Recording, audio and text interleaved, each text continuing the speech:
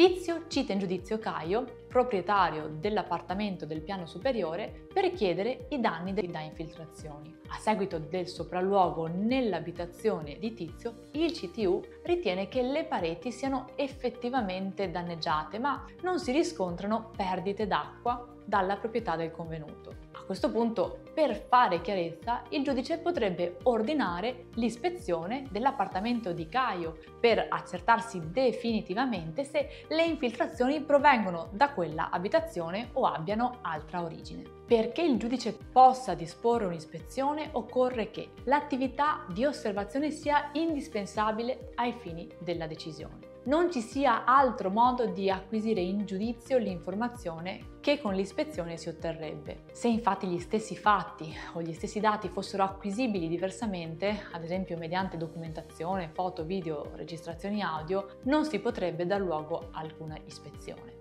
3. Infine non si deve arrecare un grave danno alla persona che l'ispezione stessa.